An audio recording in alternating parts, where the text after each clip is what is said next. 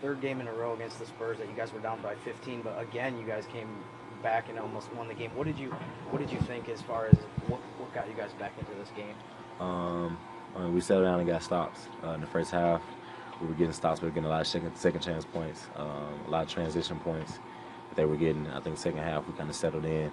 Um, actually closing the second half, I mean, closing the first half. I'm sorry. Um, we kind of locked in on defense and got stops uh, when we needed to. I know you, you just mentioned defense was big, obviously, but um, it seemed like you and Jrue did a really good job too in the second half of, of attacking on offense. So would, would you say um, that you, I mean you were happy with that part of the game as far as just being able to get back in it? You made a bunch of big shots, and he did as well.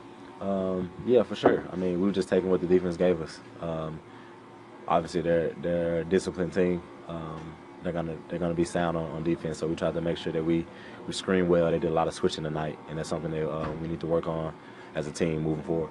Um, one thing that that Gentry talked about after the game was that um, the offense got a little stagnant at the end. I know not having AD out there, it seems like there's a lot of staples of the offense that you guys can go to in the last couple minutes. But I mean, did you, did you just see it as a, just a matter of um, just need to maybe just move the ball a little bit better and get it the offense quicker, maybe? Yeah, we needed a little bit more execution. I think guys were were anxious, um, you know, trying to make plays, um, and we everybody didn't, really didn't know where we needed to be, um, and I think that that caused a little stagnant uh, with the ball movement and you know, kind of rush shots, especially if we get down to the end of the shot clock, and we got to you know throw shots up um, that weren't the shots that we wanted. So, Thank you. yeah.